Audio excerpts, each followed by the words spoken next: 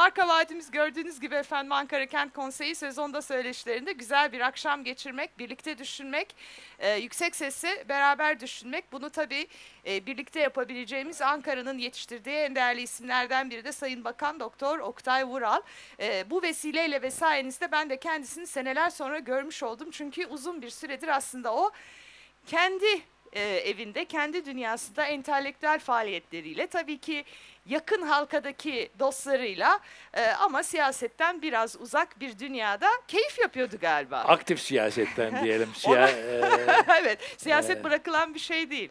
yani siyaset, devlet ve toplum hayatına ilgilenen her şey olduğuna göre buradakiler de aslında bir bakıma o alanla ilgili. Yani geçici siyasetçiler var değil mi? Evet, doğru. Dolayısıyla e, ilgilenmediği bir alan yok. Yani e, dolayısıyla e, bir meslek olarak e, siyasetçi olmadım hiç. Ama E, bir düşünce insanı olarak ve bir hizmetkar olarak e, aslına bakarsanız siyasetin Evet, içinde yani her zaman 1918 yılında Max Weber e, bir üniversitede e, bir meslek olarak siyasetle ilgili bir konferans verilmesini istiyor. Anlı- Anlatıyor orada işte diyor ki hepimiz aslında siyasetçiyiz, geçici siyasetçiler ama e, diyor iki türlü siyasetçi vardır diyor. E, geçinmek için siyaset yapanlar, siyaset için yaşayanlar diyor. Ben siyaset için yaşayanlardanım yani. Dolayısıyla benim geçim kaynağım değil açıkçası. Ne Hiç güzel. olmadı. harika. Ee, o bakımdan meslek olarak da görmüyorum siyaseti. Tam da sizin gibi insanlara yeniden ihtiyacımız olduğu bir dönemdeyiz. Bunu Sağ konuşmaya devam edelim. Teşekkür ederim. Ee, bu şey diyorlar ki e, Ali Sabancı'yı bilirsiniz e, İstanbul'un iş adamlarından, iş insanlarından sermayedar. Geçenlerde bir vesileyle bir sohbetteydim. Ee, işte dedi ki ne yapıyorsun? Dedim işte kendi YouTube kanalımda gazetecilik yapıyorum falan aktif e, e, şey ekranlarda değilim. Ona dedi şey diyoruz dedi. e, aktif dinlenme dönemindeyim Aktif diyoruz dedi. Aa dedim çok havalıymış tamam böyle diyelim ya. o zaman öyle diyelim aktif dinlenme dönemi. Şimdi Oktay Vural tabii e, hepimiz için çok değerli bir isim. Neden öyle? E, bir kere Türkiye siyasetine ve Türkiye devletine, Türk devletine yaptığı hizmetler ortada. Düşünce iklimimize e, getirdiği katkılar ortada. E, ve bir de tabii aslında hikayenin başlangıcı ve geliştiği yer olarak Ankara iki ayrı dünya ve buradan bir hikaye doğuyor. Bildiğim kadarıyla siz Diyarbakır'da olmuşsunuz. Evet. Hikaye oradan başlayalım ve sonra başlangıçlar kenti olan Ankara'da kendinizi nasıl inşa ettiniz onu dinleyelim biraz isterseniz önce. Evet teşekkür ederim efendim. Kusura bakmayın bir giriz- girizgah yapamadım yani birdenbire konuya girdik. Ama e, Sayın Başkan Ali İbrahim Bey'e, e, Kent Konseyi'ne, değerli katılımcılara e, çok teşekkür ediyorum davet ettiğiniz için bu konuda deneyimleri paylaşma fırsatı verdiniz. Tabii en güzeli de Özlem Hanım'la sohbet etme imkanı. E, zaman zaman da bu konuda e, işte görüşlerimi ifade etmek için bir e, zemin oluşturma gayretleri oldu ama şimdi burada Çok kibar Ee, söylüyor. Tehdit ettim, şantaj yaptım, çıkın dedim televizyona anlatın. Mobbing, baskı, telefon, WhatsApp mesajı bugüne kısmetmiş. Eninde Evet. sonunda karşılıklı oturuyoruz şu anda Sayın Vural'la. öyle yani e, evet e, liseyi e, Diyarbakır'da tamamladım. Eğitimini orada geçti. Daha sonra Anne Tamam. baba oradaydı. evet tabii, evet, e, Oralı oradaydı. mıdırlar Ondan aslında? sonra ailem Ankara'ya geldi. E, Ankara'ya geldi. İşte Kocatepe'nin yanında bir ev vardı. Orada şey yaptık. Daha sonra e, başka yere taşıdık. O, o sırada Ankara'ya geldiler. Ben bilahare e, İstanbul'da hukuk fakültesine girdim. Ailem e, 1973'ten bu yana e, Ankara'da e, yaşadı ve e, Ankara o bakımdan benim için e, e, açıkçası e, lise hayatından sonraki bütün ailemin e, yaşadığı bir kent. E, Ama Türkiye'nin çok önemli üç kentinin bir üçgeninde bulunmuşsunuz. Doğum Diyarbakır, ilköğretim Diyarbakır, arkasından Ankara hayatı ve sonra İstanbul'da bir eğitim, hukuk eğitimi. İstanbul'da bir eğitim, ondan sonra e, Ankara'da bürokrasi tabii. Evet, E, e, tabii ondan önce de bir de İzmir var, üç büyük kent deyince. Doğru E, söylüyorsunuz. bir de İzmir'de öğret Zaten vekilliğiniz de İzmir aslında. İzmir, öğretim üyeliğim vardı İzmir'de. Ondan sonra bürokrasi ve e, siyaset açıkçası Ankara'da hem ailemin yaşadığı ama aynı zamanda e, bir bürokrat olarak da burada e, e, görev yaptığım bir kent yani BOTAŞ Genel Müdürlüğü, Yönetim Kurulu Başkanlığı. Ulaştırma Bakanlığı, Evet. TÜKSAŞ Genel Müdürlüğü, Enerji Bakanlığı Müşavirliği, Cumhurbaşkanlığı Devlet Denetleme Kurulu derken Ankara'nın e, bürokrasiden e, e, bürokrasi havasıyla yetişmiş e, siyaset dünyasıyla iç içe olmuş bir geçmişim var siyasetten önce de olmadan önce de bu ilişkilerimiz devam ediyordu. Dolayısıyla Ankara e, Ankara e, Ankara e, çok e, ge- gerçekten hani zaman zaman İstanbullulara sorarlar, sorarlar. Siz İstanbul'da yaşıyorsunuz kusura bakmayın ama Maalesef diyeyim ben size. e, is- Evet, orada e, yaşıyorum. Ankara'nın neyi seviyorsunuz diyor. İstanbul'a dönüşünü, Dönüşünü severim. derler. E, Evet biz efendim. de Ankara'ya dönüşü sevenlerdeniz. E, o bakımdan e, Ankara Ankara e, bir e, aslında Ankara bir coğrafya değil de be- belki de şöyle bu Yakup Kadri e, e, söylüyor. Ankara bir e, e, milletin kalbinin attığı yer. Değerlerin, inançların e, böyle yani onun ötesinde bir coğrafyanın ötesinde e, benim için siyaset dünyamı şekillendiren değerlerin kalbinin attığı bir yeri, temsil ediyor aynı zamanda. Bu bakımdan e, e, benim için e, son derece o bakımdan da önemli. O de- değerler sistemini biraz anlatmanızı rica edeceğim sizden. Bakın dört büyük kenti andık. Diyarbakır'ı andık, İstanbul'u andık, İzmir'i andık ve Cumhuriyet'in başkenti, kurucu başkenti olan Ankara'yı andık. Kent Konseyi Başkanımız başlangıçlar kenti diyor Ankara'ya. Ankara aynı zamanda siyasi düşüncenin de ikliminin neşet ettiği bir zemin. Ee, ve burada gerçekten de kamu organının e, e, kurulduğu, e, bürokrasinin olduğu, akademik dünyanın olduğu e, gerçekten değerli bir kent. E, bu e, e, merkezler aynı zamanda bizim e, geçmişle ilişkimizi e, kuran e, yerler. E, dolayısıyla e, ona atfettiğimiz bir değer vardır. Böyle yani e, vatan dediğimiz bir kavram e, aslında bu bu yerin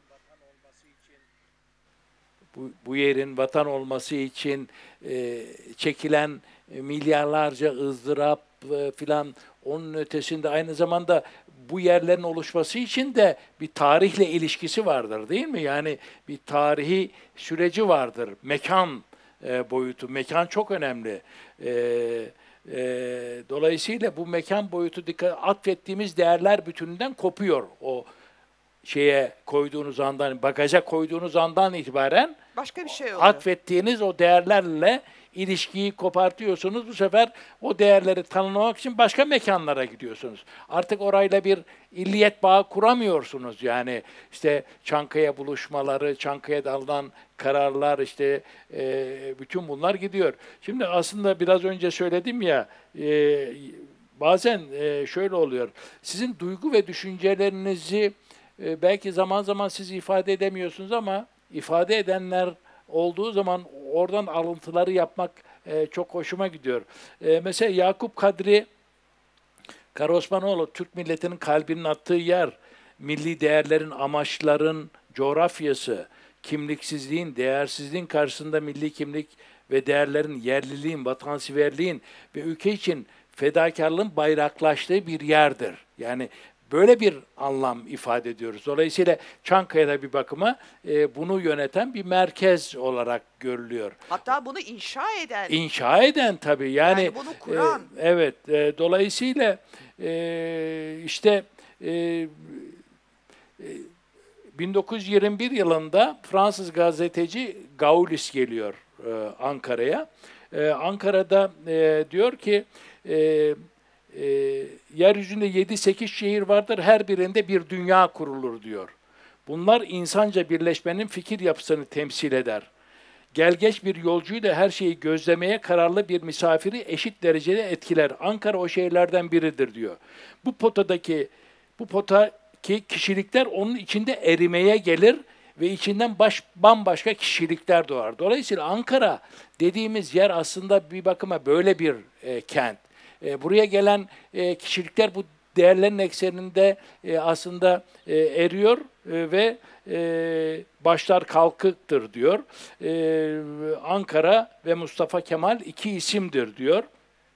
Dolayısıyla tükenmez bir zaferi temsil ederler diyor. Ne kadar güzel bir cümle. Yani e, Gaules bir 1921'de geldiği zaman bunları ifade ediyor. Dolayısıyla e, o yıkılmaz mazinin üstüne oturtulacak diyor. Bakın o değerler biraz önce yani şey bakar mısınız bunu bir Fransız gazeteci yazıyor. Tükenmez bir zafer, yıkılmaz bir mazi. Ve- evet Ve, bugünün bürokrasisi ve bugünün e, siyaset dünyası aynı dönem için hangi kelimeleri kullanıyor? Şimdi- ne kadar hazindir bu yani? Bu Diyor ki- nereden nereye geldiğimizin bir göstergesi. Özlemem diyor ki burada bunlar diyor güvenin boş vermişliği yoktur. Tehlike kavramı hep yakını gösterir. Her zaman hazır bilinen entrika tetikte olmayı bilmektedir. Misafir eden her yabancının sıra sıra bu yerde giyebileceği tek zırh samimiyettir diyor. Bu kadar yani bu Ankara Ankara e, yani bazen bunları anlatamıyor. Ankara bir ruhtur. Dolayısıyla burada e, bizim e, kurucu atalarımızın yürüttüğü mücadele, bu samimiyeti hissettirmek, aksettirmek bence son derece önemli ve benzersiz bir rasathanedir diyor. Oradan aynı zamanda Avrupa'yı da Asya'yı da gözlemleyebilirsiniz. Bütün yıkımlar, bütün yeni başlangıçlar oradan görülür diyor. Ve e, böyle bakıldığında e, e, Grace Ellison var. Kurtuluş Savaşı sırasında meclise geldiği zaman meclisin salonunda demokrasisinin belirtisi gözüme çarptı. Rütbe ve makam ayrımı gözetilmemiş. Milletvekilleri bu birinci mecliste okul sıralarından ibaret iskemlelerde oturuyor. Sözcünün masanın etrafında konuşmalarda bir kürsü e, bulunuyor diyor ve e, gerçekten e, öyle bir şey var ki tarih öncesi bir uygarlığı arkalarına almış insan biçiminde arılar parlamentolardan içeriye ve dışarıya üşüşüyorlar. Gece gündüz vızıldıyorlar özgür ve bağımsız bir Türkiye için. Yani siz İşte- okurken gerçekten tüylerim diken Yani diken oluyor. şimdi e, yani nasıl bu, ruhu bugün hissedebiliyor muyuz? Hissettirebiliyor muyuz? Siyasetin atıldığı bir yer, bürokrasinin atıldığı bir yer. Aslında bakıldığında bunlar bizim için çok önemli. Yani e, sınıf farklılaşmasını düşünmeden hepsi karışmış. Hepsi ülkelerin özgürlüğü için aynı amaca, amaca yönelmiş. Hepsi subaylar, milletvekilleri, bakanlar, memurlar, askerler, köylüler, kervan sürücüleri ödedekleri değerden eşit oranda gururlu. Bu dünyanın gerçek demokrasisi değildir de nedir diye soruyor Ellison. sormak istiyorum. Ee, daha fazla onu sormak istiyorum. Tabii bu Ankaralılık hali bir ruh dediniz siz. Evet, Bir bilinç dediniz Bir bilinç, bir bakarsanız. şuur, Yani bir şuur, bir şey. Ee, bunu niye biz Türkiye'ye yay- yayamadık? Yani e, mesela Türkiye'de niye e, kimileri kendini milliyetçi hissetmiyor? Siz nasıl milliyetçi oldunuz? Yani ben e, herhalde orta iki ya da orta son muydu? Ee, orta iki ya da orta son filandı galiba. Diyarbakır'da okuyorsunuz o sırada. Diyarbakır'da okuyorum. Peki. E, orta e, iki galiba öyleydi. Şimdi e, bir münazaralar vardır. E, e, işte e, iki grup oluşturulur. Bir tezi e, e, savunurlar. E, dolayısıyla e, ben e, konu da şu toplumların ilerlemesine kadınlar mı erkekler mi daha e, öncü olmuşlardır, daha fazla katkı sağlamışlardır diye Çok şükür bir artık sual. bu bir tartışma Ben- konusu değil cevabı e, ben biliyoruz. çünkü. e, kadınları e, savunma Teşekkür e, ediyorum Sayın e, Bakan. e, e, sav- e, savunan taraftaydım ve e, yani okudum ne olmuş ne bitmiş ve münazaralar biliyorsunuz polemikler filan. Şimdi işte bir e, bir, bir Stalin, bir e, işte Hitler, e, işte bir Le- Lenin filan böyle e, insanlık trajedileri oluşturmuşların hepsinin erkek olduğunu ifade etti. Mussolini. E, Mussolini, e, bütün bunların hepsi e, bir erkek o, oldu. O, o sırada okudum. Yani e, Marx'ı okudum, şeyi okudum. O zamanlar e, e, e, e, milliyetçi e, fikriyatı, işte yabancı ideolojiler yerine Türkeş Bey'in e, milliyetçi bir ideolojiyi e, e, ideoloji konusunda görüşlerini okudum ve e, orada bilinçli bir şekilde e, gerçekten e, milliyetçilik fikriyatını e, benimsedim. Ta orta e, sondan itibaren de e, o e, fikriyat doğrultusunda hayatımı devam ettirdim. Ailede sizi etkileyen veya da ailedeki e, e, muhabbet meclisinde e, sizin de kendinize ait hissettiğiniz ya da zorlandığınız bir siyasi fikir yoktu yani. Hayır hayır yoktu. Tamamen yani, bireysel tercihleriniz. Ta, tamamen okuyarak, düşünerek ondan o siyasal e, düşünce çerçevesinde kendimi geliştirmeye e, e, gayret ettim. Dolayısıyla e, bu e, e, yani e, bu bir bu fikir yani netice itibariyle e, bilgi olmadan fikir olmuyor. Fikir olmadan da siyaset olmuyor. Valla ikisi de çok güzel oluyor. Yani daha doğrusu şöyle çok O zaman güzel bilgisiz da siyaset, olur. fikirsiz siyaset. Bizleri bir arada değerler manzumesi içerisinde ortak karar alabilme yeteneği. Bütün bunların hepsi aslında bakıldığında evet e, bu e, milliyetçidir. E, siyasetin e, insanların kalbindeki bu noktaya ulaşabilmesi de bir mühendislik meselesidir. Bir politik mühendisliğin e, sonucudur. Bir entelektüel olarak o zaman size şunu sorayım. Sonra da tabii başka konulara da ilerleyeceğiz gene Ankara üzerinden ama milliyetçilik demokrasiye engel midir? O halk egemenliği olduğuna göre otoriterleşmeyi dışlar. Yani çok basit. Milli egemenlik ilkesi e, e, aslında demokrasinin de milli egemenliği nasıl tesis edeceksiniz? Milli egemenliği tesis etmek için Halkın iradesine ihtiyacınız var, demokrasiye ihtiyacınız var. Halkın kararlara katılmasını sağlamak için de demokrasiye ihtiyacınız var. Dolayısıyla bugün kent konseyi altında birçok e, insan bir araya geliyor, fikirlerini söylüyorsa katılıyor. Dolayısıyla bir irade belirtiyor. İşte yani netice itibariyle e, demokrasi e, zaten olmazsa olmazıdır. E, bakıldığında ben şöyle görüyorum Özlem Hanım. Ne olursa olsun ben bu siyasal mücadelede çok yaşadık samimiyette burada bir politika yapmaya değil, bu ben milliyetçiliği bir politika değil, bir varlık sebebi. Ankara'nın bu değerler manzumesi içerisinde temsil ettiği e, değerler manzumesi olarak da görüyorum. Beraber birlikte yaşamamızı e, sağlayan bir değerler manzumesi olarak da görüyorum. Ama e, yani e, şu günümüze geldiğimizde ne bileyim bütün izimleri gördük ee, şimdi ayakta kalan ne var? Ayakta kalan tek bir gerçek var. Millet gerçeği. Millet gerçeği. Millet gerçeğinden başka bir şey yok. Bugün geldiğimiz bu noktada Fukuyama tarihin sonu diyordu. Ee, son kitabında e, The Politics of Identity e, kitabında da işte milli kimliğin demokrasi için ne kadar önemli olduğunu, Oysa ki tam tersi uzun süre konuşuldu. Evet, oradan, liberalizm, oradan... neoliberalizmle sınırlar kalkacaktı. İşte e, Mersch Mayer var. E, e, işte e, bütün şeylere bakıldığında yalın bir gerçek. Bu millet gerçeğini, milli devlet gerçeğini e, ortaya koyuyor. E, dolayısıyla e, milli kimlik gerçeğini ortaya koyuyor. Dolayısıyla öyle bakıldığı zaman e, yani e, bu geniş anlamıyla e, bu düşüncenin e, ayakta olduğunu düşünüyorum. Dediğim gibi bunu topluma aksettirmek, bütün boyutlarıyla hissettirmek, e, bunu toplumun içselleştirmesi sağlamak o e, bu konuyu e, siyaset alanında tartışanların meselesi ama fikir olarak bakıldığında bugün e, yegane e, ayakta kalan e, en önemli e, fikir e, e, bence e, bu. E, bütün dünyada e, birçok e, dünyadaki birçok birçok e, fikrin gelişimlerini e, e, şey yapıyorum. Yani bugün e, işte e, e, Rusya'sından tutun e, Rusya bugün kendi model ve değerleri ekseninde bir kutup oluşturmaya çalışırken kendisi otokrasi, ortodoksiyi e, ve Rus e, e, e kimliğini e, ön plana e, getiriyor.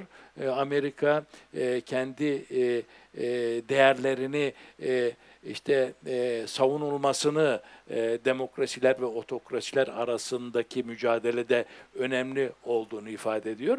Dolayısıyla yalın olan gerçek bu. Tabi bu kapanma demek değil, ayrısı olmak demek değil, kopmak değil. e, bu e, milletler camiasını beraber birlikte yaşamak. Hatta e, e, Ziya Gökalp e, e, milletlerin rekabeti yerine milletlerin sevişmesi demek. Beraber birlikte bu insanlıkta e, şey yapmak lazım. E, birlikte olmayı nasıl başaracağız? Dolayısıyla e, burada bunu dışlayan, yok etmeyi düşünen bir anlayış elbette değil. Eğer milli kültürler, milli kimlikler olmasaydı monokültürist bir e, şey hakim olmaya O başlardı. da 1984 gibi bir kabus olurdu Evet, herhalde. Distopik kabus. bir dünya olurdu. Herkesin Aynen öyle. birbiriyle aynı olduğu ve aynı düşündüğü. Dolayısıyla ben de e, e, o çerçevede e, Kendinizi o olduğunca- mahallenin içinde tanımladınız O ve uzun mahalle yıllar içinde- orada siyaset yaptınız. Evet. Oradan bağlı olarak iki soruyu arka arkaya sorayım. Bugün geldiğimiz Türkiye'de e, maalesef sizin tariflediğiniz bu duygudaşlık meselesini e, gene bunu Ankara üzerinden sorayım. Çünkü Ankara Cumhuriyeti'nin de e, kurucu başkenti olarak aslında bu duygudaşlığı Türkiye'ye yaymakla e, ve kimsesizlerin kimsesi olmakla yükümlü bir kentti. Burası evet başlangıçların kenti ama aynı zamanda burası yürütme organının, burası kararların e, verildiği bir Kalbi. iradenin de ka- kenti. Evet dolayısıyla e, kaç yılınız bitti siyasette bilmiyorum ama uzun yılların bir deneyimi olsa gerek. Şimdi bir, bir kalemde siz de söyleyemediniz. Şimdi hangi tür siyaset? Evet, doğru e, diye- söylüyorsunuz. Parti Kendinizi- siyaseti ayrı ama Doğru. Yani e, ama neredeyse siyaset- bir 30-40 sene diyebiliriz herhalde. E, e, ve bugün geldi. fiili siyasette e, 2002 yılından bu yana e, E demek ki bir 20 iki- sene 1999'dan bu yana E, bir 23, 23 yıl. sene öyle. Fikri siyasette çok daha uzun. Bugün geldiğimiz Türkiye'de kimlik siyaseti üzerinden tel tel ayrışan, e, yani deyim yerindeyse kulağının arkasındaki bir santimetre kare üzerinden bile kutuplaştırılmış e, bir toplum yapısı var. E, dünyaya da baktığımız zaman aslında dünyada da bir demokrasi krizi görüyorum ben. Neden öyle? Bakın bugün Amerika'da ölümlerden ölüm beğenilen bir başkanlık yarışı var. Yani Ha Trump ha Biden benim için hiç fark etmiyor yani. İkisinin de taciz dosyası var. İkisinin de yasa dışı birçok e, haklarında suçlama dosyaları var. Ee, ikisi de bambaşka bir dünyadan bildiriyorlar ve yeni dünyayı anlamakta gerçekten çok gerideler. İkisinin de aile hikayelerinde akçeli işler, karanlık ilişkiler falan var. Ee, ve oraya kilitlenmiş durumda. İngiltere İngiltere'de Johnson yani şu anda İngiltere'de bir başbakan yok yani hani devleti kim yönetiyor belli değil. İtalya İtalya'da hükümet düştü. Yani şu anda parlamentoda fiilen karar veren bir şey yok. Sri Lanka adam kaçtı gitti ne olacağı belli değil. Ee, e, Rusya'da Putin var ama Putin'in sağlığıyla ilgili birçok e, tevatür var. Orta Doğu'nun hali ortada. Dünyada bir şey var. Siyasette bir bir çıkmaz sokaklar, siyaset sınıfında bir kriz. Ee, kendi deneyiminizden de dönüp baktığınız zaman şuralarda eksik yaptık, hata yaptık dediğiniz bir şey var mı ve dünya siyasetindeki bu tıkanmayı nasıl okuyorsunuz, nasıl değerlendiriyorsunuz? Evet yani e, gerçekten e, aslında bakıldığında kutuplaşma e, bütün dünyada bir vetire. E, dolayısıyla e, maalesef e, e, bu kutuplaşmayı sağlayan daha önce e, daha önce e, medyan e, e, seçmen e, yani e, bakıldığı zaman e, bir medyan seçmen var. E, dolayısıyla e, bu medyan seçmeninden e, çoğunlukla oyunu almak isteyen e, bir e, gayret vardı. Şimdi e, bu medyan seçmen ortadan e, kayboldu.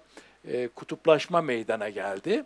Bu kutuplaşmada herkes kendi alanını tahkim etmeye başlıyor. Her- Ama giderek radikalleştirerek o E, tabii. alanları. Evet. Yani, Yani- iyice iyice uçlara iterek. Ama e, zaten e, e, siyaset e, e, bir bakıma kendi alanlarını tahkim etmeye çalışınca kendi alanını tahkim etmek kutuplaşmayı gerektiriyor. Dost düşman ilişkisi.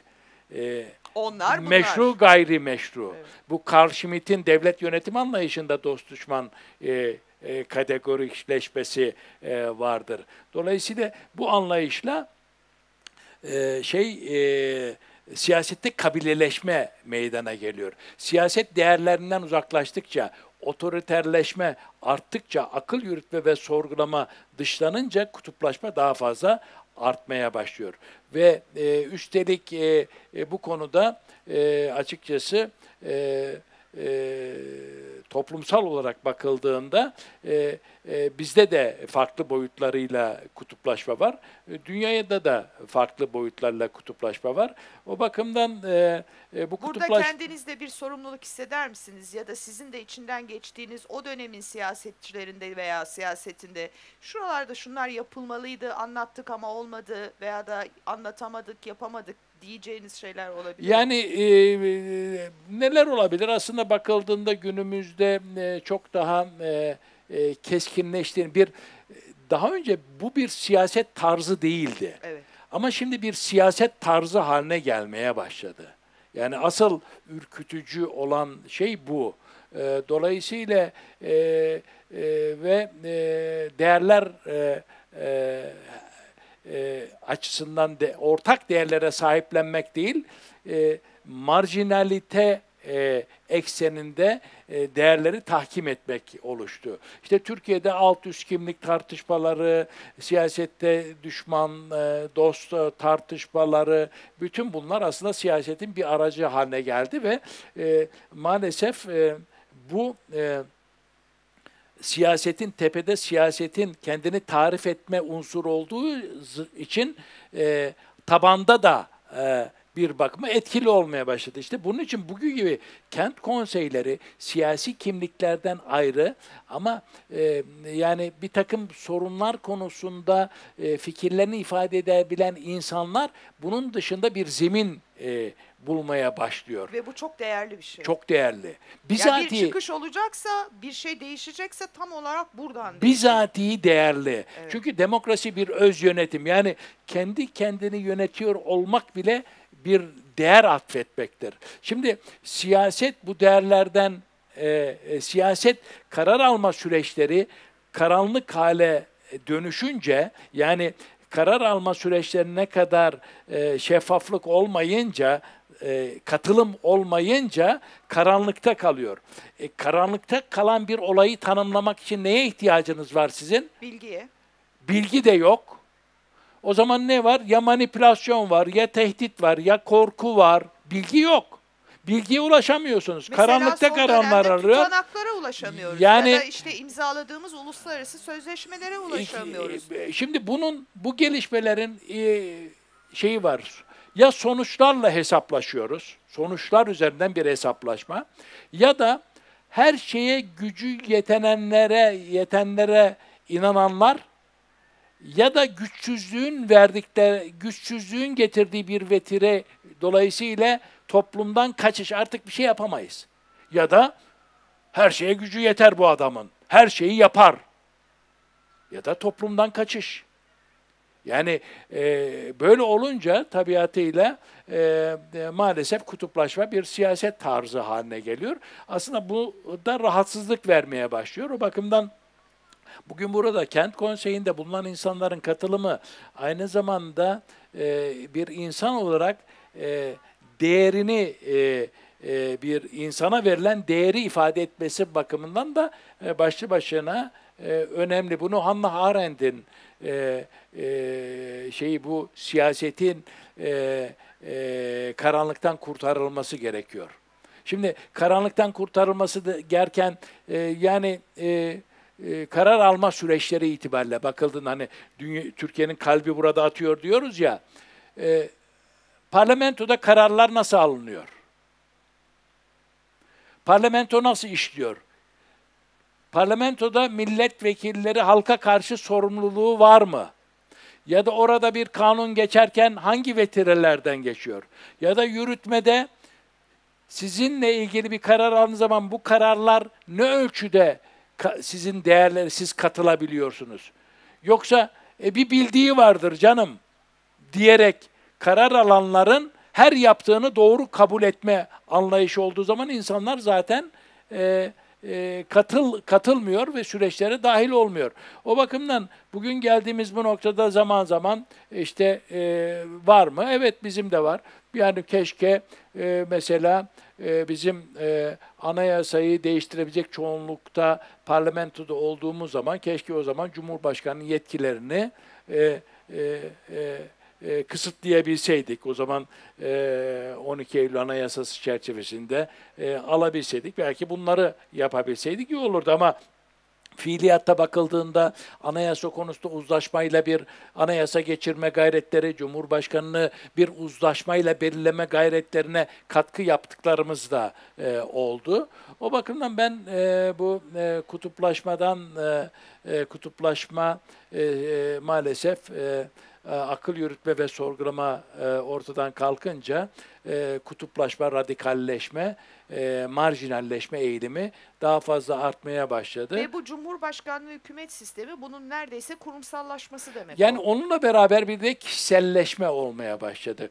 Kurum kurumsallıktan çıktı, kişisel e, e, bir e, iktidarı yürütmeyi temsil eden kişisel noktaya gitti. Yani bu bakımdan da e, kurumlarımızın e, yönetim anlayışında etkinliğini ortadan kaldıran ya da daha fazla katkı sağlamasını engelleyen bir vetiri olarak ortaya çıktı. Bürokrasi sınıfı çöktü, kamu organı çöktü, karar alınamaz hale geldi gerçekten de ve parlamento kadük bir yapıya dönüştü. Yani, Yani, darbeleri araştırma komisyonunun raporu yayınlanamıyor. Şimdi- bir milletvekili soru önergesi veriyor, cevap alamıyor. Çok e, güzel. Şimdi bakın e, e, parlamentoda görev yaptığımız zaman e, zaman zaman e, hani siz de biraz önce söyle soru önergesi, araştırma önergesi. E, şimdi e, şöyle bir şey soralım. Parlamentoda soru. E, ne oluyor soru sorunca? So what? Ne oluyor? Soru önergesi verdi. Benim sorunumu dire. Etkinliği nedir?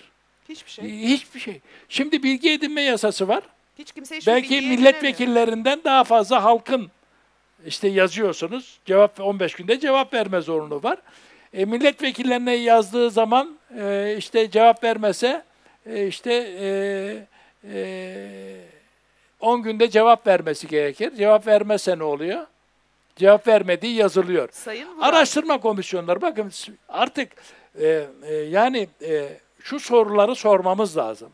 Siyaset sonuçlarla araştırma komisyonuna hayır dedi. Soru önergesine cevap vermedi. İyi de sonu soru önergesinin halkın sorunlarına ulaşma ya da parlamentonun bir güç olarak etkinliğini sağlamada ne faydası var? Ne katkısı var? Bunu bugün, sor. bugün bu- için. Bugün, bugün için dün de Dün de mi yoktu? e dün de araştırma komisyonları kuruluyor. E araştırma komisyonlarında bulunduk. Yani bugüne kadar parlamentonun e, ara- kurduğu araştırma komisyonlarında sonuç olarak araştırma neticesinde vardığı bulguları icraya sokabilme gücü var mı? Soktu mu? Sorguladı mı? Yani parlamentomuz maşallah aromatik bilgilerin önemi, aromatik bitkilerin önemiyle ilgili e, işte e, e, araştırma komisyonu kuruluyor. Birçok konuda araştırma komisyonları kuruyor da yani bir sürü tavsiyeler var. E, e, depremle ilgili araştırma komisyonu kuruldu. Tavsiyeleri var.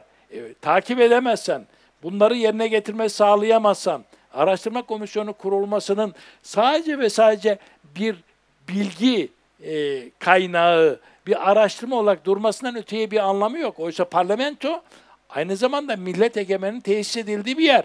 E Peki nasıl gerçekleşecek? Bu o E zaman bunları de- kapatalım parlamentoyu bunları değiştirmek- sadece yerel yönetimler Bunları yönetsin. değiştirmek lazım. Yani parlamentoda bakıldığında çoğunluk iradesi olduğu zaman gen sorunun bir etkisi var mıydı? Gen soru sadece e, verilir. E, hiç olmasa bakanlar, mille e, bürokratlar gelip e, hiç olmasa orada hesap verirdi ama siyasi sonucu elde edemezler. Dolayısıyla bunların nasıl işlediğini görmek lazım. Yani e, bu, bu sistemleri sonuçları üzerinden değil de işleyişi bakımından sorgulamak lazım. Yargı süreci, yargı çalışıyor, yargı sistemi çalışıyor. Anayasa Mahkemesi'ne e, bireysel başvuruların yüzde 97.3'ü mü 93 7'si mi bilmiyorum ama hak ihlalinden dolayı bozuluyor. Bakın bir Korkunç bir Ya, istatistik bu. Şimdi üretiyorsunuz, karar veriyor. Yüzde 93'ün üzerinde hak ihlali var diyor. E şimdi sistem bu sonucu doğuruyor. Peki ne yapmak Ekonomi. lazım? Çözüm ne? Yani Çözüm ya, ya bu, yenilenmemiz gerekiyor. Yani kaçınılmaz bir şekilde bir yenilenme ihtiyacımız var bizim. Bunu görmek lazım. Bunun sonuçları üzerinden işte e, sen şunu yaptın, sebepler konuşulmadan, süreçler konuşulmadan, süreçler iyileştirilmeden sonuçlar değişmez. O bakımdan benim yapacağım tavsiye e, bu süreçleri sorgulamak, işlevlerini sorgulamak. Şimdi neden e, e, kamuda denge denetim olması lazım? Hesap daha iyi kararlar versin diye. Değil mi? Yani yönet güç verdikleriniz birileri tarafından denetlensin, hesap verebilir olsun, karanlıkta kalmasın. Biraz önce şeye söyledim e, Halil Bey'le şeydeyken. E, şimdi 2003 yılında Irak tezkeresi oylandı, kapalı oturum vardı. 19 yıldan beri bu parlamentodaki bu görüşmeler kapalı oturumda olduğu için gizli. Bir saniye araya gireceğim. O da bir şey mi diyerek bir noktada virgül koyacağım. Bugünün İçişleri Bakanı bugünün bir televizyonunda çıktı ve dedi ki Sedat Peker'den her ay 10 bin dolar para alan bir siyasetçi var dedi. Bu kimdir dedi. O gün bugündür biz bu sorunun cevabını yani, bekliyoruz parlamentoda. İşte böyle olunca ne oluyor? Olaylar gerçeklere ulaşamıyorsunuz. Spekülasyonlar, tehditler, korkular, ee, yani bunun da siyasi başka siyaset aracı var mı? Şimdi biz yani e, siz diyorsunuz ki siyaset belgelerle, verilerle bilgilerle, ve gerçeklerle yapılır diyorsunuz. Evet karar alacağız. Şimdi Max Weber e, e, şöyle diyor e, bu e, e, o o da plesi, plebisit yani e, yönetici e, seçiminden yana ama diyor ki e, evet ben bundan yanayım, bu demokrasiden yanayım ama diyor ki bunun doğru karar alabilmesi için öncelikle diyor parti yöneticilerinin güçlü ve bilgili insanlardan, tecrübeli insanlardan olması lazım. Karar verdiği zaman bunu etkilesin yetmez diyor. O yönetici çoğunluğu aldığı zaman diyor ki e, e, devlet yönetimi liyakat ve basiretli insanlardan, tecrübeli insanlardan oluşmalı ki karar alma sürecinde onun e, bu kararlarını etkileyebilsin. Bu da yetmez diyor. Diyor ki parlamento güçlü ve tecrübeli insanlardan olmalı. Bu da yetmez. Parlamentonun bilgi kaynağı bürokrasiye bağlı olmaması lazım. Onun dışında bilgi kaynaklarına sahip olacak ki bu denge içerisinde sağlıklı karar verebilsin. Bilgiyi Şimdi, üreten iki kurum var. Biri akademi, diğeri medya. İkisi de şu anda bağımsızlığını kaybetmiş. Yani durumda. maşallah medya bilgi edinme gücü değil, politik manipülasyon ve pazarlama aracı. Akademi de öyle oldu. Birbirimizi kutuplaştırmanın bir aracı. Rating için ya da e, birilerine hizmet için. Yani e, hep böyle siyaseti eleştirecek e, değiliz, değiliz tabii, yani. Tabii, tabii, e, medya demek. halkın bilgi edinme gücü. E, ne ölçüde bilgi edinme gücü? İşte penguen belgeselleri. Yani efendime söyleyeyim. E, dolayısıyla ee, bunla, bunları cevaplara cevaplara verilen sorular. Bunları sorgulamamız lazım. Şimdi yürütme içerisinde karar veriliyor. Bakın birçok ülkenin ben e, şeylerini e, inceledim. E, yürütmede karar veriyor. Bürokrasi bir karar alıyor, yürütme. Peki bu yürütme, bu bürokrasi bundan etkileneceği, etkilenecek kesimlerden bilgi aldı mı? Hiç böyle bir sürecimiz yok. Mesela daha önce vardı, hiç yapılmadı. Bir kanun teklifi ya da kanun tasarısı geldiği zaman düzenleyici etki analizi yapılır. Yani bu düzenleme neye yarar? Paydaşlar ne diyor? Maliyeti ne olur? Faydası ne olur? Bir düzen bu düzenlemenin etki analizi. Bugüne kadar bir tane kanun bu düzenleyici etki analizi yapılarak gelmiş değil parlamentoya. Yok böyle bir şey. Bilgi yok. E, karar verme süreçlerinde bu dengeyi oluşturamazsanız, bu katılımları oluşturamazsanız, tecrübeleri oluşturamazsanız sağlıklı karar alınmaz. O bakımdan burada kent konseyi bir takım tavsiye kararlar alıyor, bir takım şeyler alıyor. Bunlar da yöneticiler bakıyor. Dolayısıyla böyle bakıldığı zaman e, iş e, e, kurumlar e, kurumsal görevleri yerine bunları temsil eden isteğine göre karar vermek durumuna kadar geliyor. Bu da iktidarın kişiselleşmesi sorununu doğuruyor. İktidarın kişiselleşmesi sorunu da o zaman politikaların kişilerin e, egolarına e, ya da kendi kişilik özelliklerine göre karar verme süreci getiriyor. Oysa biz milli egemenlik dediğimiz bir yerde böyle bir karar alma süreci olabilir mi? Olmaz. Dolayısıyla ben yasama, yürütme, yargı, denge, denetim ama bunların kendi işleyi, iç işleyişinde e, bunları sorgulamak lazım. E, eğitim konusu. Şimdi e, e, biz bir Sayın Bakan e, şöyle demişti, geçen e, okuduydum. Bu kırsaldakiler sınavlara giriyor. E, tabii e, bunlar sınavlara laf olsun diye giriyorlar. Girince bizim ortalamamız düşüyor. Şimdi sorun sınavlara girmeyip ilin ortalamasının yüksek olması mı? Yoksa, Yoksa kırsaldaki o... çocuğun da iyi not alabileceği evet, bir eğitim evet, sisteminin inşası var. Evet bakın sonuçlara göre ama asıl problem alanı o çocukların eğitim yoluyla fırsat eşitliğinden yararlanması. O bakımdan e, şimdi e, eğitim işte Sayın Bakan söyledi bu bağ, e, kayıt için bağış kesinlikle alınmaz ama insanlar bağış yapabilir diyor. Öyle dedi. İnsanlar e, kayıt için değil ama bağış yapabiliyor. O zaman bağış niye alınıyor?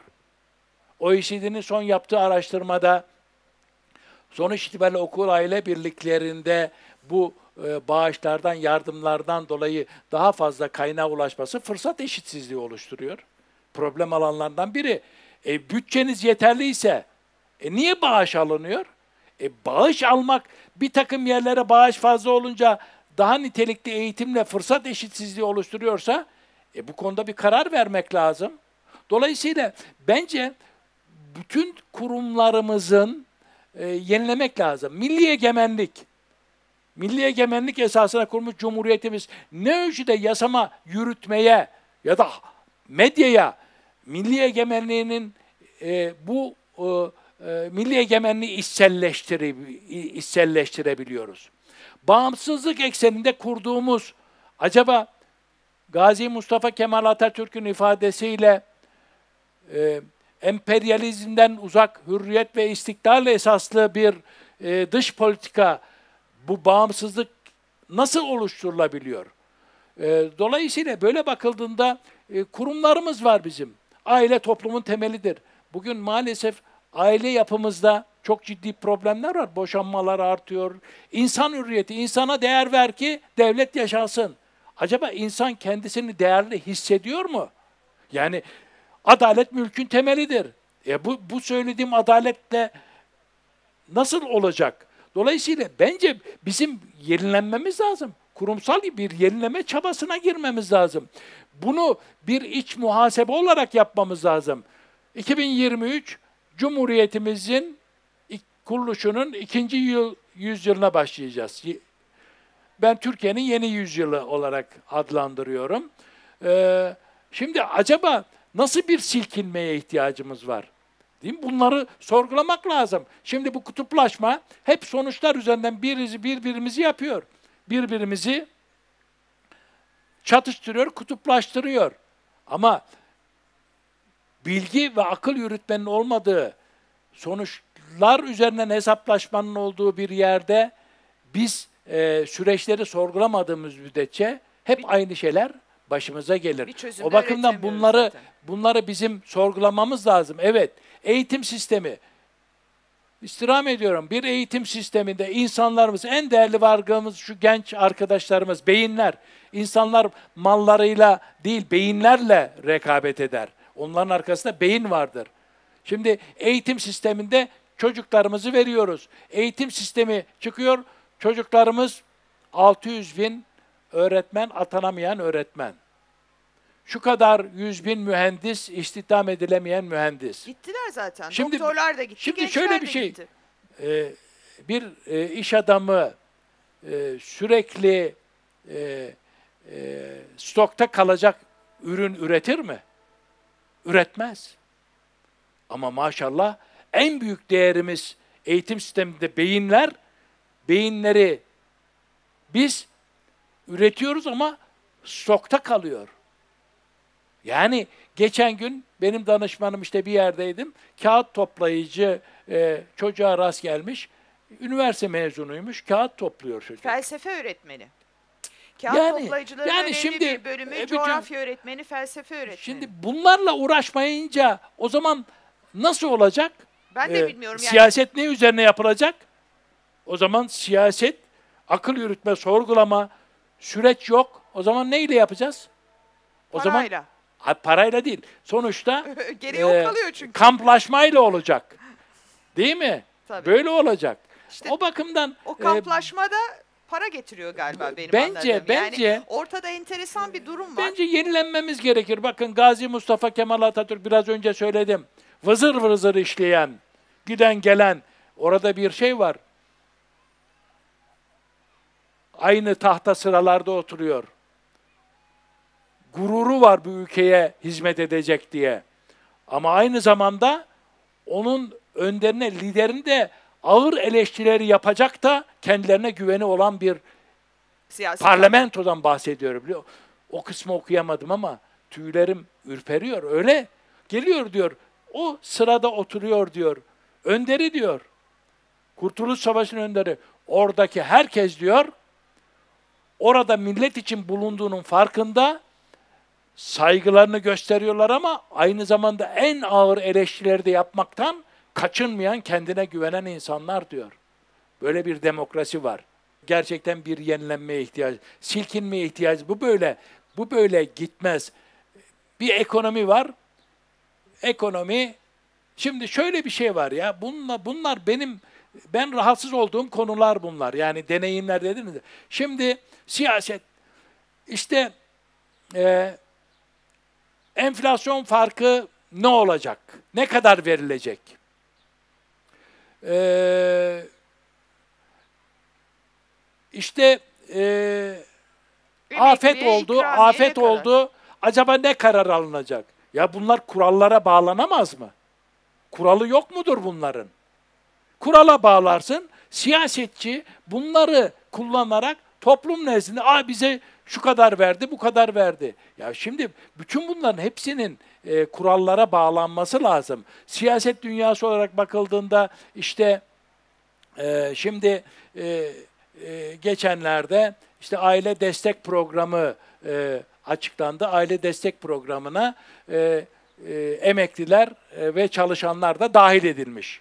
14 milyon kişi sosyal Bak bak. yardımla yaşıyor Bak bak. Türkiye'de bugün. E, 4 milyon 300 bin aile. E, dolayısıyla aile destek programına çalışanlar ve hangi şartla ailede kişi başına gelir 450 TL'nin altıyla asgari ücretin üçte biri olan 1833 TL olanlar çalışan bu insan kişi başına düşenlere aile destek programı. Şimdi biz bu verilen destekten dolayı bu desteği mi eleştirmemiz lazım yoksa bu insanların bu desteğe muhtaç hale gelmesini sağlayan ekonomiyi mi sorgulamamız lazım? Asıl problem alanı bu. Yani bir ekonomi var. Ekonomi bunu üretiyor. E bu siz bu politik ekonomiyi değiştirmediğiniz sürece üretilecek. Ondan sonra vay bana 100 lira verdi. Hani emeklilere 1000 lira veriliyordu. 1100 lira oldu. Harçlık dağıtır gibi yani. Peki 1000 liranın o zamanki değeriyle bugün 1100 lira aynı mı? Neden bu kurala bağlanmaz? Niye? Çünkü siyasetçinin elinde güç. Ha bu, bunu verdi. Ya bunu verdi. İstirham ediyorum. Biz insanız. Eşrefi mahlukatız. İnsanları böyle bir e, yani bu şeyle e, e, yani bu şeyi elde ederek onun iradesini alma zihniyetini ben hoş görmüyorum ya. Daha Ya- güzelini söyleyelim. Ayıptır, günahtır, Yani yazıktır diyelim ben yani. Böyle bir şey insan bu, olabilir mi? insanca yaşamasını Bu çok çok onursuzca bir hale koyan dediğiniz gibi insanı bir yaklaşım ve çok çirkindir kabul ediyorum. Şimdi e, siyaseti konuştuk biraz da heyecanlandık. Birkaç tane de böyle tatlı yumuşak soru sorayım. E, ondan sonra varsa eğer sahadan da bir iki soru alarak sohbetimizi bir yarım saat içinde tamamlayalım istiyorum. Ama şu önemli dediniz ki bilgiyle, veriyle ve gerçek olguyla yapılır. Siyaset dediniz. Ben mi yanlış biliyorum? Osmanlı'nın çöküşü de tam olarak bu manipülasyon, bilgilerin karanlıkta kalması, kimsenin kimseye hesap vermemesi, bürokrasi sınıfının e, karanlık bir e, dünyada oluşu. Bunun böyle olmamış mıydı? Yani sanki bir Öyle. benzerlik var gibi yani. Yani öyle oldu zaten bizim e, ben e, e, siyaset dünyasında e, bu e, e, Türkeş Bey e, e, şu ikinci Viyana zaferinin e, e, bozgununun e, e, e, sebepleri konusunda e, bir çalışma yaptım. İşte o zaman bir çalışma yaptım. E, Osmanlı'nın e, çöküş dönemi. Tabii o e, Viyana kuşatmasının başarısız olmasının özel sebepleri var ama genel olarak bakıldığında şu e, şeyi tespit ettim ki e, o, o e, çöküş dönemi, e, daralma ve çöküş dönemine geçişin sağlayan sebeplerden biri e, bürokrasinin bozulması. Ee, ve Ama bürokrasi de bir sebeple bozuluyor tabii. işte Yani, atamalar evet. Torpille yanlış olmaya atam- başlıyor. Ne güzel Ee, söylediniz. e, yani Neyse e, ki Türkiye'de hiç böyle şeyler e, olmuyor. Torpille e, e, yapılıyor. E, yetmedi. E, mesela e, culus bahşişinin dağıtılması. E, padişah şeye çıkınca culus bahşişi dağıtarak hazineyi boşaltıyor. Dolayısıyla böyle olduğu zaman siz de eğer para basarak e, e, insanları yani e, hoşnut etmenin yolunu buradan görürseniz ve hazinenin içi boşalırsa bu da e, gerilemenin sebeplerinden biri e, oluyor. Dolayısıyla O da çöküşe evet getirdi zaten. e, tabii e, Niye şeyde biz ders almıyoruz Sayın Efendim? Niye biz ders almıyoruz? Yani bu tarif ettiğiniz şey içinden geçmekte olduğumuz dönemi neredeyse tıpatıp uyan bir şey. Yani bu, bu- bu bir süreç tabii. Bu bir süreç. E, bu bu muhasebeyi yapmamız lazım. Siyaset e, siyaset bence süreçlerle ilgilenmeli, gelecekle ilgilenmeli. Buradaki arkadaşlar şu olacak, bu olacak. Ama bizi hep ilgilendiren şey nasıl bir geleceğimiz olacağını. Ben e, şunu hissediyorum Özlem Hanım, samimiyetle bunları okuyorum. E, hani e, aktif dinlenme dönemi diyelim. E, Diyelim. Bu arada söylediğiniz için hemen not edeyim. Gençlik Meclisi var biliyorsunuz. Kent Konseyi'nin ve çok kültürlü, e, çok kimlikli, e, demokrasiyi içselleştirmiş bir yapısı var. Gençlik Meclisi'nin başkentin genç aklı diyorlar. Gençlerin söyleyecekleri var diyorlar. Zannediyorum gelecekten bahsedeceksiniz. Buyurun lütfen. Yani şimdi 2023 çok önemli. Niye önemli? Ha, niye önemli? Anlamı nedir? Bunu anlamlandırabiliyor musunuz? Tarih olarak önemli. Anlamı nedir? Anlamı kurduğunuz cumhuriyetin atalarımızın devlet-i ebed müddet eşliğinde kurduğu atalarımızın acaba bu ikinci yüzyılda geldiğimiz günde bir muhasebesini yapıp geleceğe nasıl bakacağımızı idrak etmek için önemli değil mi? İnşallah. E bunun için önemli. Evet. Yani e, bir, bir bir doğum günü kutlaması gibi doğum günü kutlanır mı? Yani devletlerin hayatında bu önemli ise o zaman devletin Kur'an bu değerler ekseninde acaba ner, ne, neredeyiz, nereye gideceğiz? Bunları sorgulamamız lazım. Öyle e, böyle değil. Yani bunları içselleştirmek, hissetmek lazım. Ben hissediyorum, heyecan duyuyorum her zaman. Ta o zamandan bu yana bu heyecanı duyuyorum. Yani bu cumhuriyet kurulurken e, o işte milli kurtuluş yapıldı, cumhuriyet kuruldu. Ya o kadar basit mi? Fikir var. Bunun arkasında değerler var. Şimdi şimdi bir çölleşme, siyasette çölleşme, aydınlarda çölleşme, Medyada. medyada çölleşme. E, bunları İş sorgulamıyoruz. dünyasında da var. Sanayi bitti maalesef. Ağır sanayi. Şimdi böyle bakıldığı zaman o heyecanı hissetmek yani o e, Gaudis'in 1921'de o meclisle ilgili yaptığı o heyecanı vızır vızır gidiyorlar, yapıyorlar. Büyük bir e, geleceği hazırlama konusunda heyecan, bu heyecanı duymak lazım, hissetmek lazım. Ben işte Ankara'yı e, Ankara'yı bu heyecanın merkezi olarak gösterilmesi gerektiğini düşünüyorum. Ve burada da kent konseyi gibi bir şey çok önemli. Ama bence bu e, kent konseyi, bu Ankara'da o değerler, o inanç, bir, bir başkent Ankara, o heyecanı bugün yaşatabilecek, aktarabilecek, bilgi ve fikirle yapabilecek acaba bir, e, bir, bir yılda bir düzenlenen bir Ankara zirvesi bunu yenilemek lazım, sorgulamak lazım. Harika Ee, bir fikir. e, yani e, böyle bir şey olabilir belki.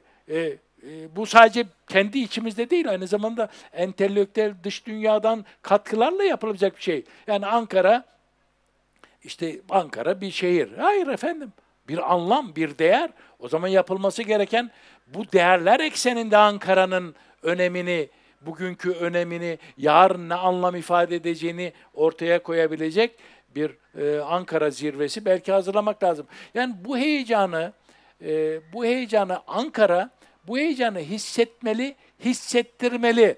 Yani mecliste milletvekilleri işte vızır vızır lokantalara insanların gelip ağırlandığı bir yerden dolayı Türkiye'nin e, meseleleri konusunda hemal olmuş insanlarla birlikte olan e, vekillerin olduğu bir yer. Bu heyecanı göstermemiz lazım. Hep beraber birlikte bunu yapmamız lazım. Bu heyecan için bu yenilenmeyi ben çok gerekli görüyorum. Kurumsal olarak, kurum olarak sadece yasama, yürütme, yargı ve medyayı demiyorum. Kendi işlerinde dengeyi de demiyorum.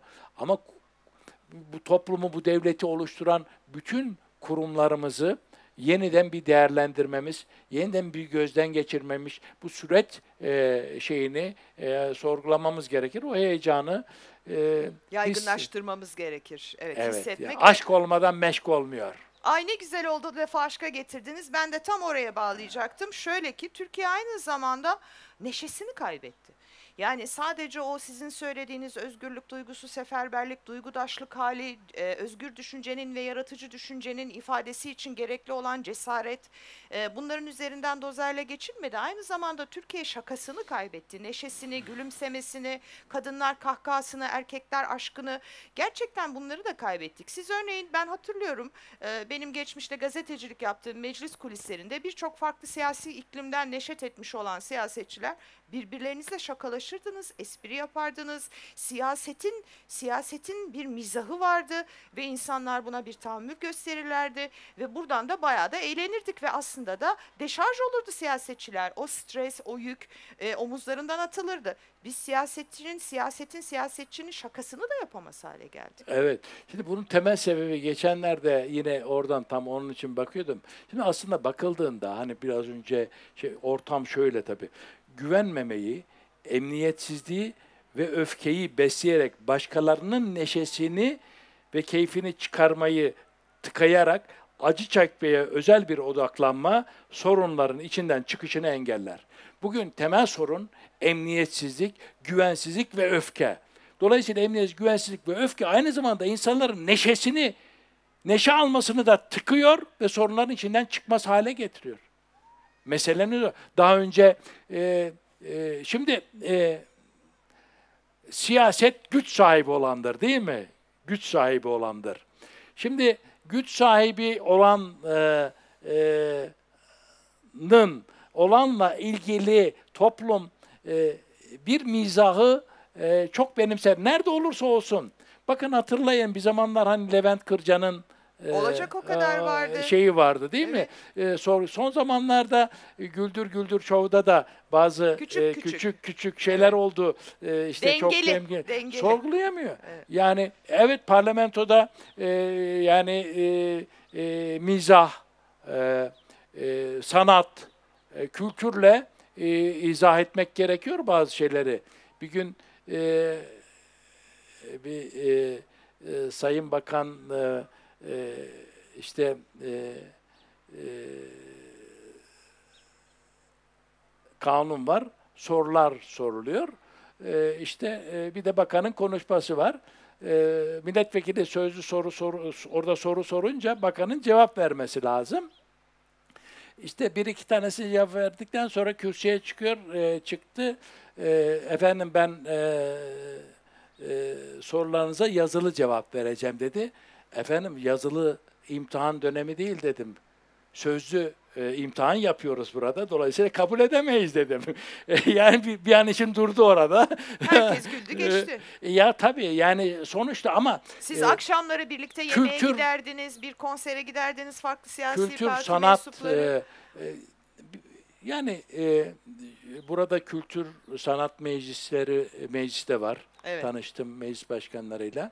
Kültür tüketmiyoruz ya. Kültür tüketicimiz kalmadı. Şimdi acaba Ankara'da ya da başka bir yerde spor, kültür, sanat acaba vaktimizin ne kadarını kültür ve sanatta veriyoruz? Ne kadarını? Ya şimdi evet bir aile, bir insan hiç olmazsa vaktinin önemli bir kısmını Alvin Toffler'in var. E, bu e, kültüre, e, kültür ve sanata e, talep de olması lazım. Bu talebi oluşturmak lazım. Kültür ve sanat insanların kalbini... Kültür ve sanat nedir?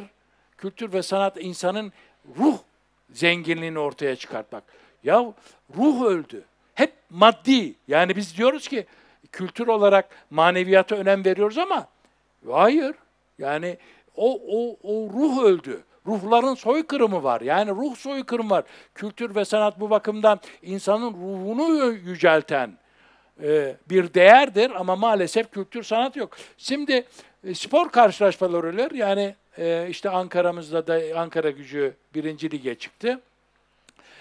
20 bin, 30 binlik statlar yapılıyor büyük illerde. Acaba o ilin, o stadına aileler her maçta düzenli olarak biz bunun maçına gideceğiz diye bir vakit ayırıyor mu? Yok. Ama dışarıdakine bakıyorsun adamlar küme düşüyor, full oynuyorlar. Niye? O biliyor ki ben burada vaktimi bu kadarını buraya harcamak durumundayım ve bu ilim, bu değerine sahip çıkmak durumundayım. Bilinçli. Ailelerle birlikte geliyor. Yemeklerini hadi statta yiyelim ya da burada yiyelim diyor. Ya şimdi bizde stada girmek bir dert. Çıkmak bir dert. Yani nerede ailenize yemek yiyeceksiniz? Yok böyle bir sosyal ortam yok.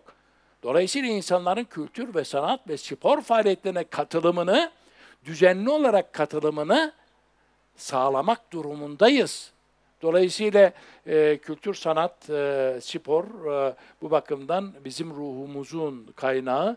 E, bu Ve zenginliğimiz. Ruhu, zenginliğimiz evet. Bunu e, bunu kendi mecrası içerisinde güçlendirmemiz gerekiyor. Mizah o bakımdan e, çok önemli. Hatta Tabii Oktay Bey aynı zamanda iyi de bir Galatasaraylı olduğu için spor Evet. yani spor deyince aklına hemen futbol geliyor. Hatta- Oysa ki bu aralar okçuluk revaç. evet. Hatta şimdi işte e, Oktay olunca hem at hem e, şey Hiç öyle düşünmemiştim doğrusu. e, e, dolayısıyla e, yani insanın e, açıkçası e, e, bu e, o ruh güzelliğini ortaya çıkartacak bu e, süreçler e, bence son derece önemli. Ama bırakın onu pay, onu yapamıyoruz. Yani böyle bir ortam yok. Yok. Evet. Sadece evet. öfke toplumu olduk sizin demin ifade evet. ettiğiniz gibi. Ben son sorumu sorayım. Sonra birkaç soru için alana e, mikrofonu uzatalım.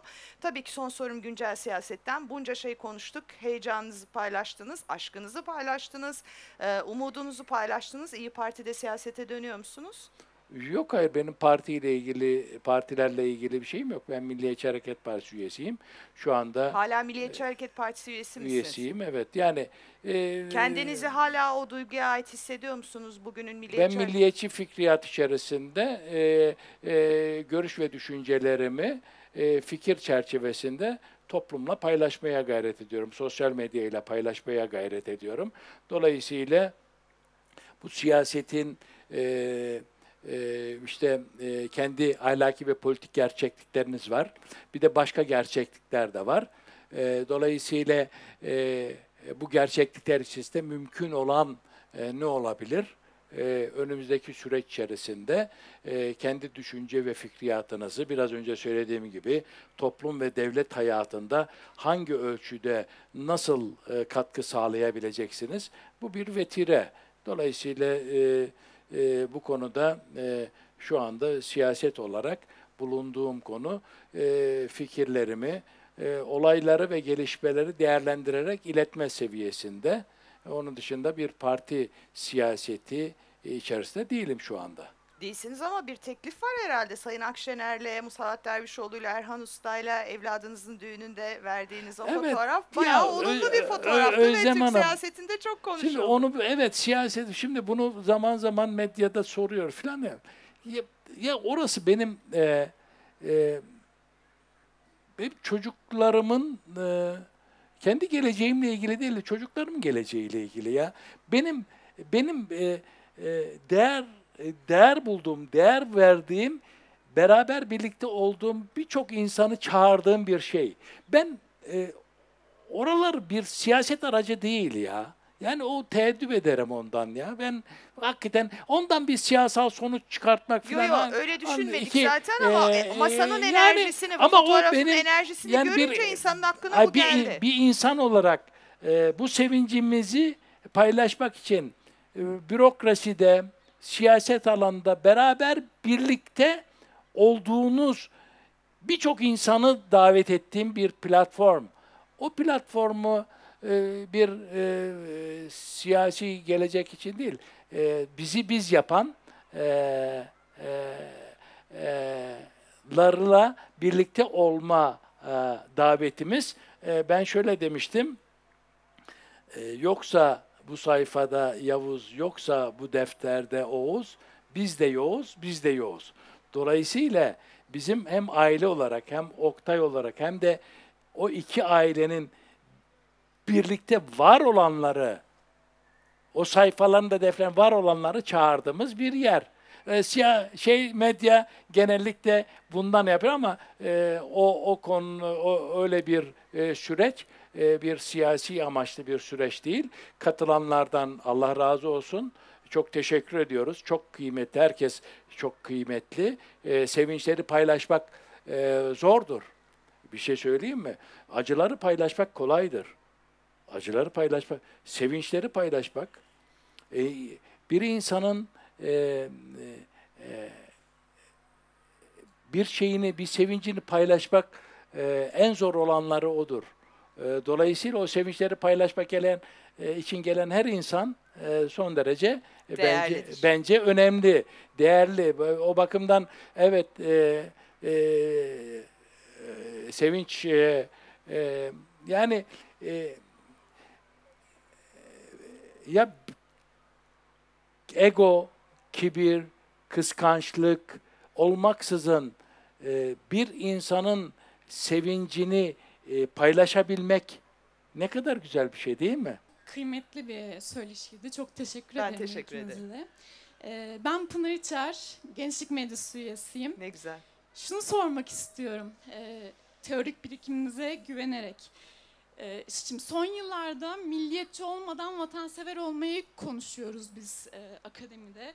Yani e, vatanseverlik birazcık daha ideolojiler üstü bir şey artık. Yani bir komünist de kendine vatansever diyebilir, liberal de diyebilir. Ancak milliyetçilik dediğimizde bu tıpkı komünizm gibi, liberalizm gibi bir ideoloji oluyor. Şimdi şunu soracağım, siz neden e, siyaset sahnesinde kendinizi bir vatansever olarak var etmek yerine milliyetçi siyasetin içinde yer almayı tercih ettiniz?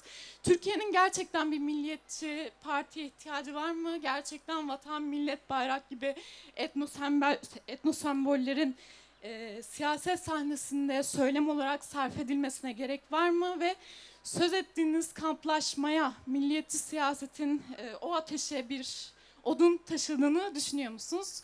E, ve rica ederim bunu ofansif bir soru olarak almayın. E, kendini yıllarca milliyetçi demiş ancak hayal kırıklığına uğramış biri olarak soruyorum bunu. Teşekkür ederim. Pınar'cığım Evet. muazzam bir soru. Bu- bu, bugüne kadar e, bugüne evet. kadar bir MHP'li siyasetçiye sorulmuş bence en muazzam soru. Bunu sorduğun için çok teşekkür ediyorum. Ee, ne kadar özlemişiz demokrat bir siyasetçiyle oturup şöyle rahat rahat e, soru cevap bir fikir egzersizi yapmayı. Bunun için de Sayın Vural'a ayrıca teşekkür ediyorum. Buyurunuz efendim.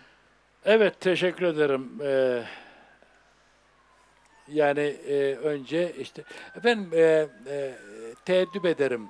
E, milliyetçilik ve e, bayrağı vatanı araçsallaştırmak değildir.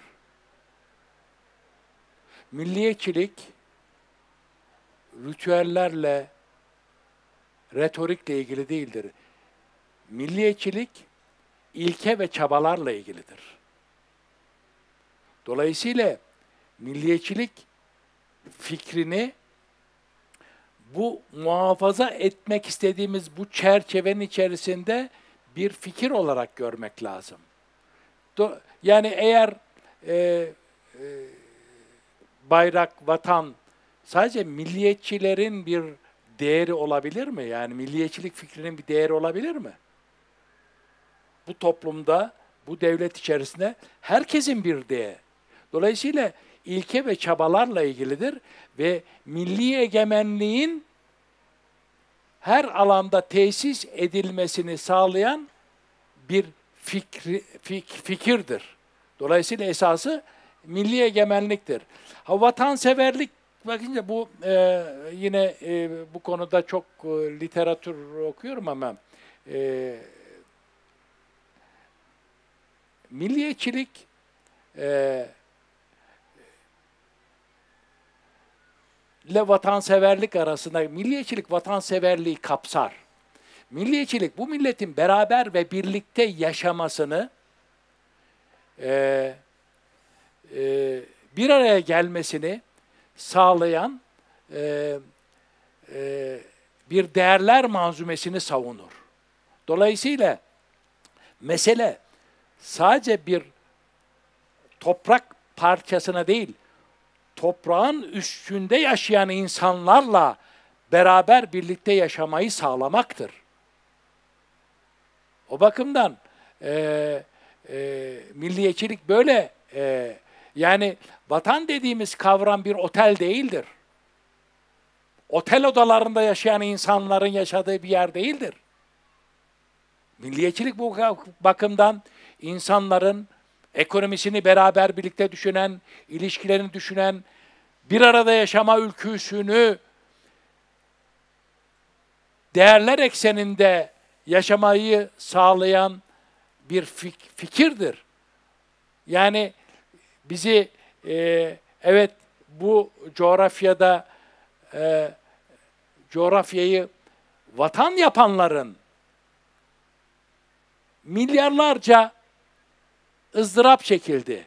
Bu coğrafyayı vatan yapan insanların değerlerini kabul etme meselesidir. Bu vatanı bu hale dönüştüren, üstünde yaşayan milletin bunu vatana dönüştürmesinin bu vatana şahsiyet vermesini de kabul etmek lazım.